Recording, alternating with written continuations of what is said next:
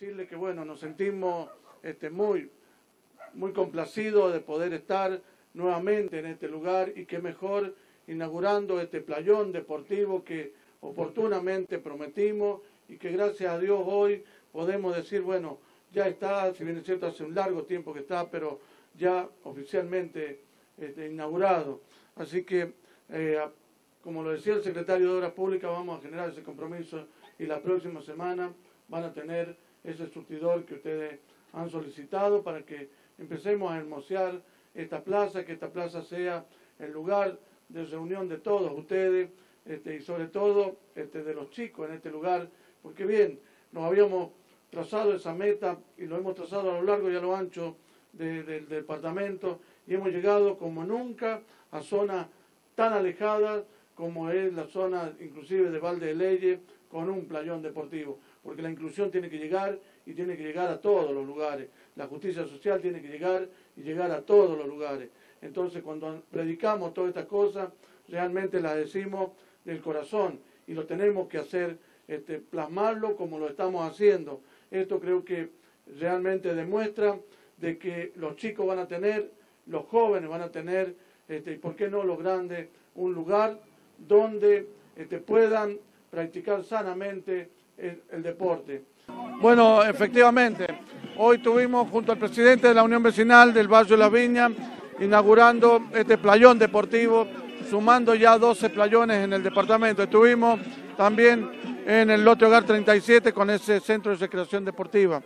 Este, creo que en esto este, cada vez me, siento más satisfecho de cada una de las cosas que hemos realizado en este departamento y a mí me enorgullece ver que en cada una de las zonas donde hemos construido un playón deportivo, ver este, llenos los playones de jóvenes, de chicos, entonces creo que la gente estaba vida y necesitada de este, espacios de contención. Y hoy lo veo con, gran, con gran beneplácito y ojalá este, esto este, lo podamos seguir y lo podamos continuar. Miren, nosotros trazamos un objetivo de no solo hacer en el centro, sino ya hemos construido y lo vamos a inaugurar en los próximos días.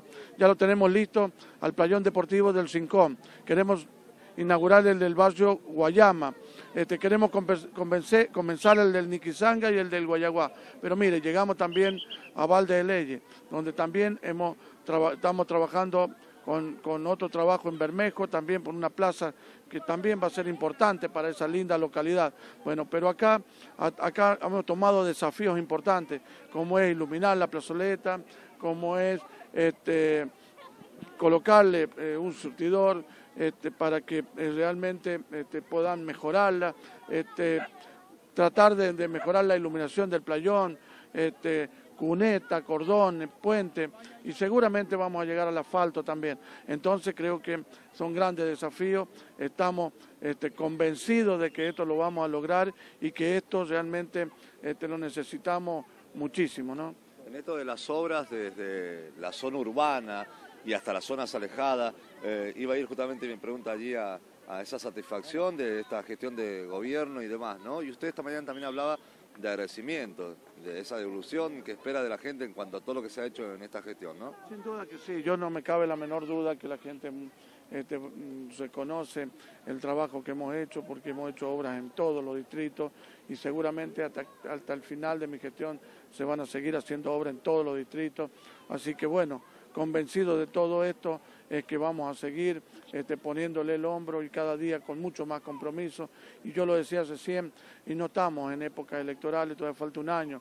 Por ahí algunos apresurados quieren adelantar los tiempos políticos, pero lamentablemente nosotros tenemos este, la enorme responsabilidad de seguir gobernando hasta el último día de nuestra gestión. Así que bueno, este, más allá de todo esto, este, le pondremos el hombro como realmente se merece. Bueno, ¿qué respuesta tenido con respecto a esa manifestación, de ponernos a trabajar y no hablar de tanto de candidatura? Digo, ¿hablado con los funcionarios más que Por supuesto, yo lo vengo hablando desde, desde un largo tiempo atrás, entonces tomé la decisión de armar esta reunión en la Junta Departamental para dejarle aclarado a los afiliados cuál es la posición de la Junta Departamental este, y de quién les habla.